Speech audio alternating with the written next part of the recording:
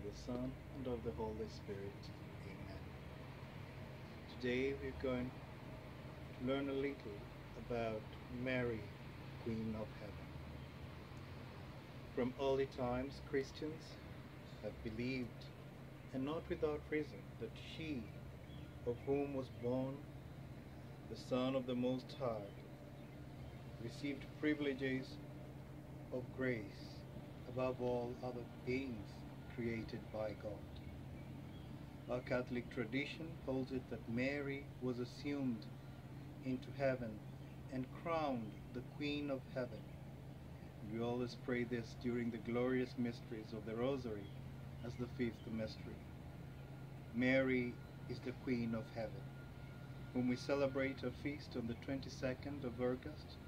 August was of royal nature to the early Christians when they reflected upon the intimate connection between a mother and a son.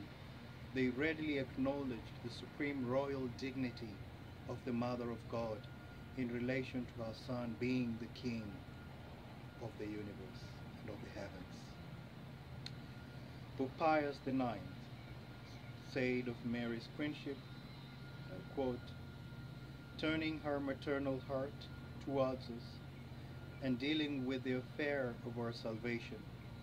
She is concerned with the whole human race, constituted by the Lord, Queen of heaven and earth, and exalted above all choirs of, of angels and the ranks of saints in heaven, standing at the right hand of our only begotten Son, our Lord Jesus Christ. She petitions most powerfully with her maternal prayers, and she obtains what she seeks. Pope Pius XII, in the encyclical Ad Celi Regina, that proclaims the queenship of Mary, says, and I quote again, and, and never has that hope wavered which they placed in the mother of the divine King, Jesus Christ.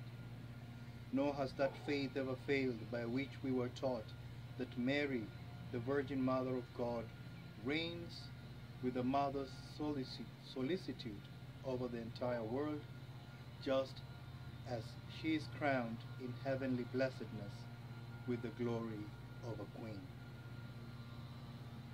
Following upon the frightful calamities which before our, very eyes have reduced flourishing cities, towns, and villages to ruins, we see our sorrow in our sorrow that many great moral evils are being spread abroad in what may be described as a violent flood.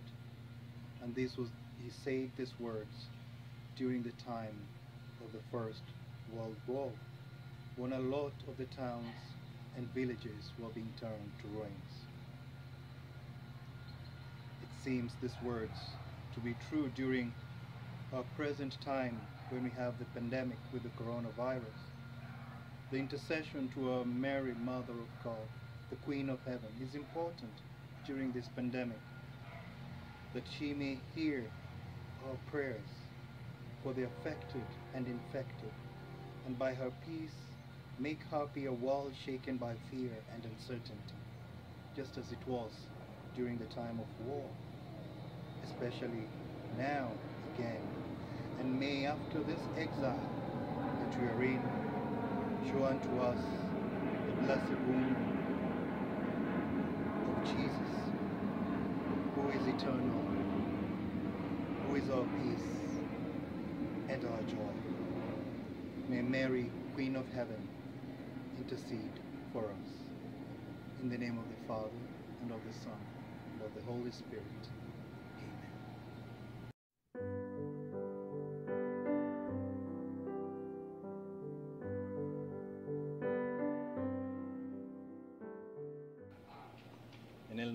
Padre, del Hijo y del Espíritu Santo.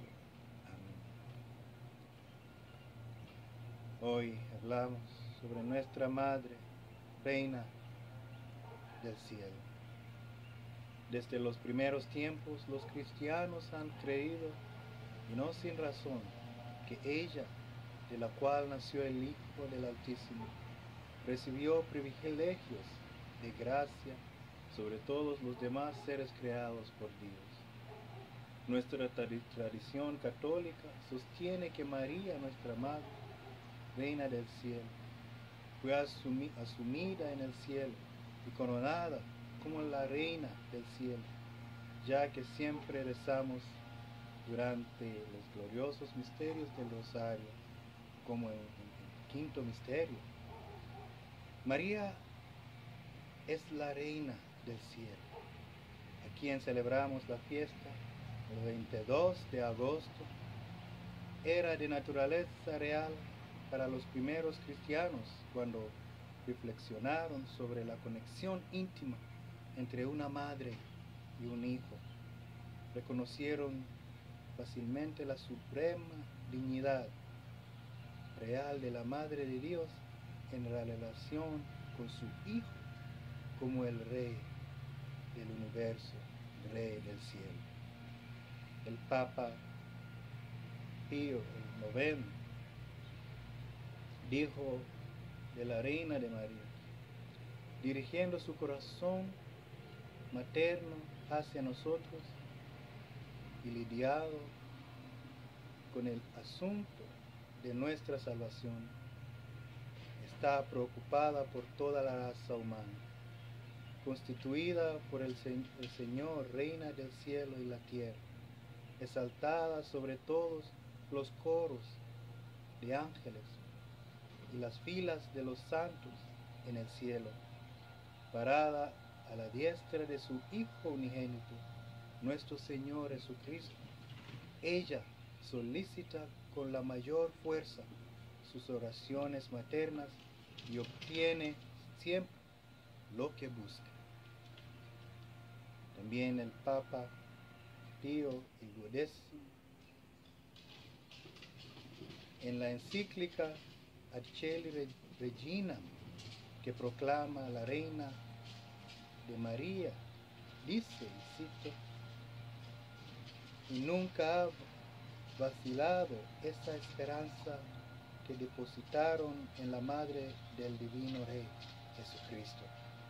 Ni tampoco ha fallecido es, fa- fallado esta fe por la cual se nos enseña que María, la Virgen Madre de Dios, reina siempre con la solicitud de una madre por todo el mundo, así como es coronada en la bendición celestial con la gloria de una reina.